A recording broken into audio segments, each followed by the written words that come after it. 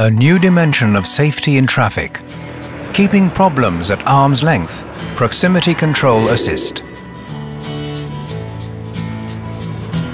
Proximity Control Assist maintains the set desired speed similarly to the manner in which conventional cruise control works on free stretches of road. It's effective from a speed of 0 km an hour. When the vehicle approaches a vehicle ahead, the speed is adapted automatically according to the set distance. The distance is set on the multifunction steering wheel.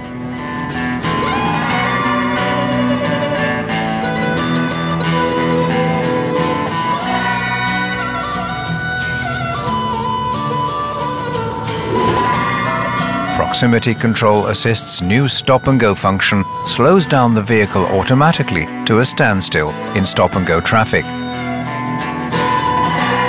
and moves off again after a short stop of less than two seconds without requiring any intervention on the part of the driver.